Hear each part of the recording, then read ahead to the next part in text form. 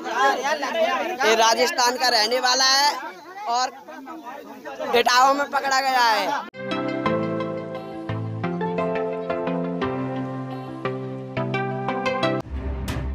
इटावा के एकदिल थाना क्षेत्र के कल्याणपुर गाँव में सुनील नाम के चोर को चोरी करना उस समय भारी पड़ गया, जब उसे पवन नाइक नाम के बच्चे को ले जाते हुए ग्रामीणों ने पकड़ लिया।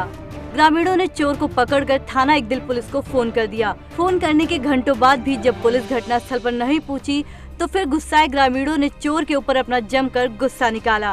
कानून को हाथ में लेते हुए ग्रामीणों ने चोर के कपड़े उतारकर उसे घंटों खेतों में ले जाकर बर्बरता से पीटा। बच्चा चुराने गए चोर को ग्रामीणों ने इस कदर पीटा कि चोर चोरी न करने की कसमें खाने लगा। आपकी ये गलत फहमी है जो आप फेरी वाले को कहते हो। फेरी वाले बेचारे और परेशान हो रहे हैं।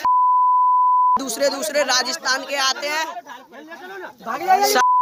ना मारो। इस वीडियो को लाइक और शेयर ज़रूर करें।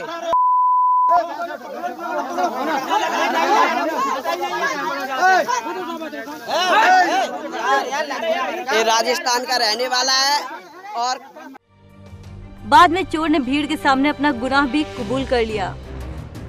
पहले दो- दस बीस मिनट मेरा भाई सुबह लैट्रिन करा चला गया था। मैदान है नाला है वगैरह। तो उस वो बगल में मेरे भाई को ले जा रहा था। तो उसके बाद वो चिल्लाने लगा मेरा भाई। चिल्लाने के बाद मैं वहाँ भाग के पहुँचा। वहाँ भाग के पहुँचा मैं उसको पकड़ भी लिया। उसको पकड़ ले उसके बाद मैं बोला सौ नंबर पर फ़ोन लगा रहा हूँ। तो उसने मोबाइल छुना के हमारा नाले में फेंक दिया। बारह हज़ार का मोबाइल था नाले में फेंक दिया। उसके बाद वो भागने लगा। फिर हम मोबाइल ढूँढने लगे वो भागने लगा।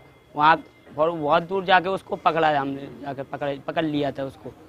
अच्छा से भर रखा था। अच्छा हाँ हाँ अब इसके हाथ में बेहोश वाला दवाई भी था जो फेंक दिया है। अच्छा। वो क्या ये खेतों। था इसके साथ में? ये अकेले को देखा है हमने। अकेले को देखा। हाँ।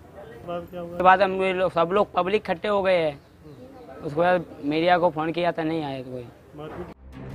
वही इस मामले पर इटावा एसएसपी ने कहा है कि ग्रामीणों ने चोर को पकड़कर अच्छा काम किया। पुलिस मामले की जाँच कर रही है।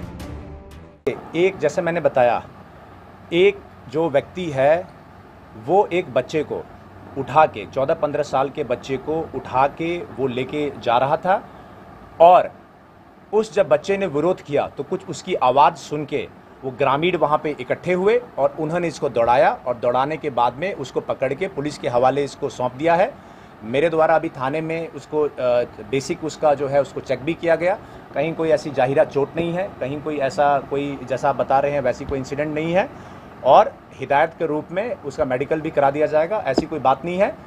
बहुत सूझबूझ का परिचय देते हुए, बहुत समझदारी का परिचय देते हुए ग्रामीणों ने इस व्यक्ति को पकड़ के और थाने को पुलिस को सौंपा है और अब पुलिस जो है इससे पूछताछ करके इससे आगे में क्या इसका मोडस अपरांडी था या क्या इनका मकसद था, इस पे जो है, इस पे ये काम कर रहे हैं और इसके साथ भी और भी अगर कोई साथी होते हैं, उसका भी खुलासा जो है पुलिस जल्द से जल्द इसमें कर देगी।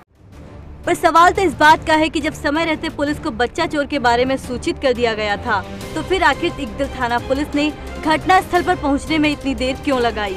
अगर भीड़ के कानून के हाथ में लेने के बाद चोर की मौत हो जाती तो उसका जिम्मेदार कौन होता? News desk